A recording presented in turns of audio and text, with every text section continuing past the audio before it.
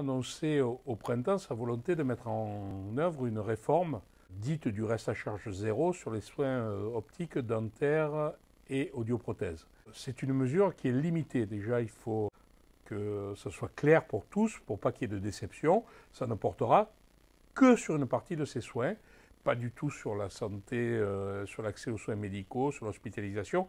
Donc il y aura toujours des restes à charge euh, pour les assurés sociaux, malheureusement, après la mise en œuvre de la réforme. C'est pour ça que l'emploi du terme 100% santé nous paraît euh, tout, à fait, tout à fait exagéré et pouvant susciter des illusions euh, qui pourrait se retourner contre la mesure elle-même. Mais sur le dispositif lui-même, il reste un certain nombre de choses à régler, euh, notamment son financement.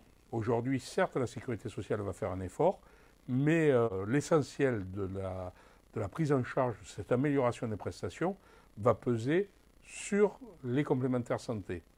Et il ne faudrait pas que l'augmentation de ces prises en charge se traduise par une augmentation des cotisations.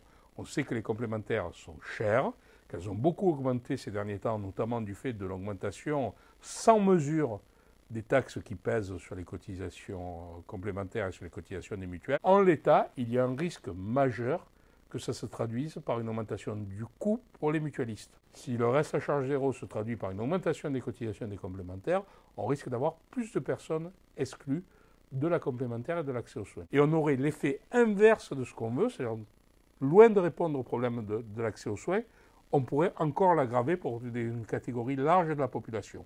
C'est pour ça que nous demandons que parallèlement à la mise en œuvre de ce dispositif, soit examinée la question de la réduction des charges qui pèsent pour plus de 14% aujourd'hui euh, sur les cotisations mutualistes. C'est considérable, c'est presque deux mois de cotisation.